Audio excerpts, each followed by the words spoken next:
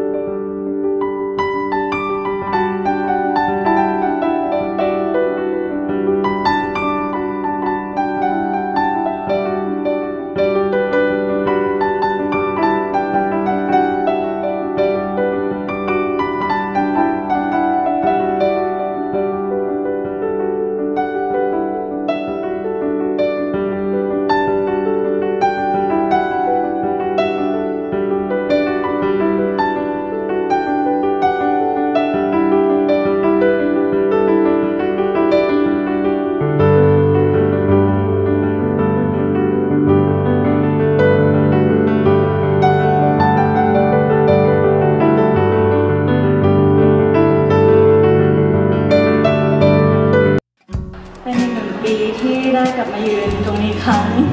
หนึ่งปีไว้มากๆเลยนะคะทุกคนดีใจแล้วก็ตื่นเต้นมากๆค่ะ ก็รู้สึกเป็นเกียรติอีกครั้งที่ได้มีชื่อเราในปีนี้ ขอบคุณ Idol Factory นะคะ ที่ทำให้พวกเราถูกคนพบมากขึ้น แล้วก็ถูกรักมากขึ้นที่สำคัญนะคะขอบคุณแฟนคลับทุกคนที่ยังอยู่กับพวกเราตรงนี้แล้วก็ยังรักแล้วก็สปอร์ตพวกเราตลอด ขอบคุณฟินเบกกี้ได้ด้วยค่ะขอบคุณฟินเบกกี้ที่ยังมีกันและกันอยู่แล้วก็สู้ไปด้วยกันพยายามไปด้วยกันทุกๆวันค่ะใช่ค่ะก็จริงๆพี่ปีก็ขอบคุณไปเยอะมากๆแล้วค่ะแต่ว่าก็อยากขอบคุณแฟนคลับเหมือนกันนะคะ ที่คอยอยู่ด้วยกันแม้ว่าจะเจออุปสรรค ปัญหาอะไรเราลงไปด้วยกันแต่เราก็ลุกขึ้นยืนด้วยกัน ใช่ไหมคะค่ะแล้วก็ขอขอบคุณพี่ปี